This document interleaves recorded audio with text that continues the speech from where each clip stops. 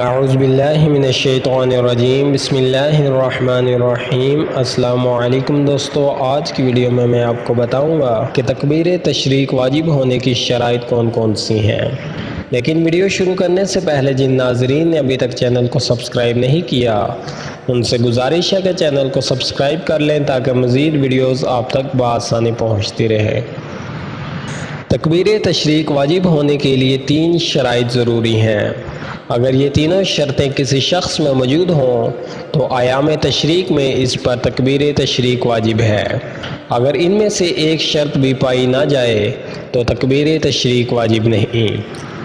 پہلی شرط یہ ہے کہ مقیم ہونا، مسافر پر تکبیر تشریق واجب نہیں۔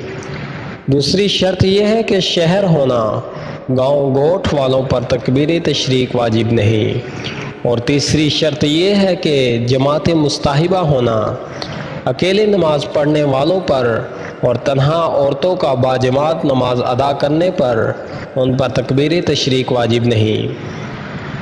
پہلی شرط کا مطلب یہ ہے کہ جو لوگ کسی جگہ مقیم ہوں، جیسے اپنے وطن اصلی میں ہوں، یا مسافر نے کسی جگہ جہاں اقامت کی نیت معتبر ہوتی ہو، کم از کم پندرہ دن قیام کی نیت کر لی ہو اور باقی دو شرطیں بھی موجود ہوں، تو اس پر آیام تشریق میں تکبیر تشریق واجب ہے۔ مسافر شخص پر تکبیر تشریق واجب نہیں ہے، خواہ وہ الگ نماز پڑھے یا اپنے ہی جیسے کسی مسافر امام کی اقتداء میں نماز باجماعت ادا کرے۔ اور اگرچہ یہ مسافر یا مسافروں کی جماعت کسی شہر میں ہو اور اپنی جماعت کرے، ان پر بہرحال تکبیر تشریق واجب نہیں۔ البتہ یہ اگر یہ مسافر یا مسافرین کسی مقیم امام کی اقتداء میں شہر یا قصبے میں نماز باجماعت ادا کرے، تو پھر ان پر بھی امام کے تابع ہو کر تکبیر تشریق واجب ہو جائے گی۔ دوسری شرط کا مطلب یہ ہے کہ چونکہ جمعہ اور عیدین کے لیے شہر یا قصبہ ہونا شرط ہے، کسی چھوٹے گاؤں گوٹھ میں عیدین جائز نہیں۔ اس لیے ان کے باشندوں پر تکبیر تشریق بھی آیام تشریق میں واجب نہیں۔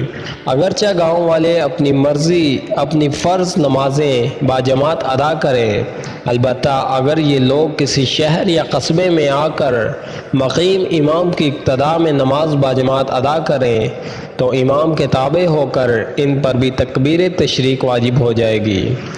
تیسری شرط کا مطلب یہ ہے کہ مذکورہ دو شرطوں کے ساتھ تکبیر تشریق واجب ہونے کے لیے یہ بھی ضروری ہے کہ آیام تشریق میں جن جن فرض نمازوں کے بعد تکبیر تشریق کہنا واجب ہوتا ہے، ان فرض نمازوں کو باجماعت ادا کیا گیا ہو اور وہ جماعت بھی مستحب جماعت ہو مکرو جماعت نہ ہو۔ مثلا کسی مرد امام کی اقتداء میں وہ فرض باجماعت ادا کیا گیا ہو، تو اس جماعت کے شریک تمام مقتدیوں پر امام سمیت تکبیر تشریق واجب ہوگی۔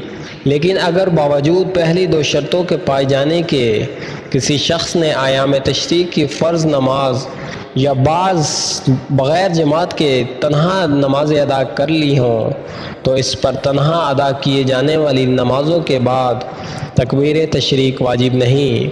اسی طرح اگر تنہا عورتوں نے مل کر کسی عورت ہی کو امام بنا کر اس کی اقتداء میں کوئی فرض نماز باجماعت ادا کی، تو ان پر بھی تکبیر تشریق واجب نہیں ہوگی۔ کیونکہ عورتوں کی جماعت جماعت مستحبہ نہیں ہے، بلکہ مکرو تحریمی ہے۔ اسی طرح عورتیں الگ الگ نماز ادا کریں، تب بھی ان پر تکبیر تشریق واجب نہیں۔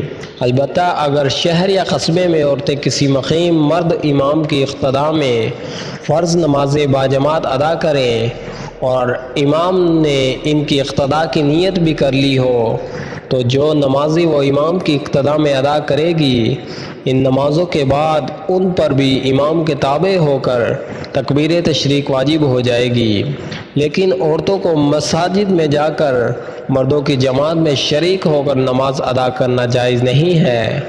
مکروح ہے تحریمی ہے۔ تو ویڈیو اچھی لگی ہو تو ویڈیو کو زیادہ سے زیادہ شیئر کریں تاکہ یہ معلومات دوسرے لوگوں تک بھی پہنچ سکے۔ اللہ حافظ۔